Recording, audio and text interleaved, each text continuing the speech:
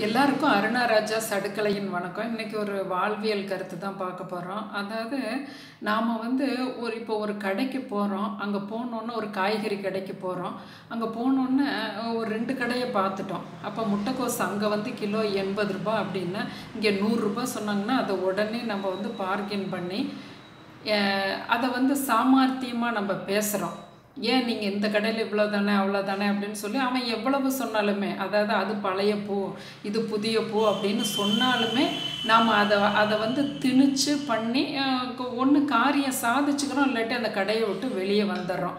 இந்த மாதிரி இது வந்து இது மாதிரி பண்ணுறோம் நம்ம எப்பயுமே எல்லா இடத்துலையும் ஒரே மாதிரி அந்த வழி அந்த வியூ அப்படிங்கிறது சரி வராது.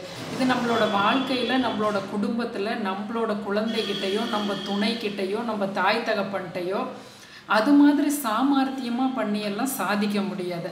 அங்கே வந்து நம்ம மடை திறந்த வெள்ளமாக அன்பை மட்டுமே தான் கொடுக்கும் பொழுது அங்கே வந்து தப்பு ரைட்டுன்னு நிறைய வந்து அறிவுபூர்வமாக அதை ஃபோக்கஸ் பண்ணாமல் உணர்ச்சி பூர்வமாக அங்கே கொடுக்கும் பொழுது தான் நமக்கு நம்மளோட சுற்றங்கள் நம்மளோட குடும்பம் நம்ம துணை எல்லாமே வந்து நிம்மதியாகவும் நம்ம கொஞ்சம் அனுசரணையாகவும் நம்மளோட மன நிறைவாகவும் அமையும்.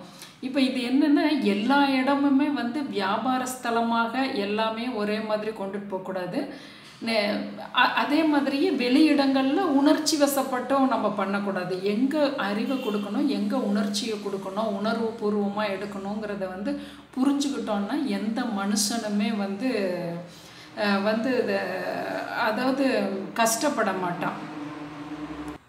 வாழ்க்கையை ரொம்ப சுலபமாக அவனால் ஓட்டிட்டு போக முடியும். இந்த ரெண்டையும் ரெண்டு இடத்துல அப்படின்னு வச்சுக்கும் பொழுது அடுத்த ஒரு பதிவை பார்க்கலாம். வாழ்க வளமுடன்.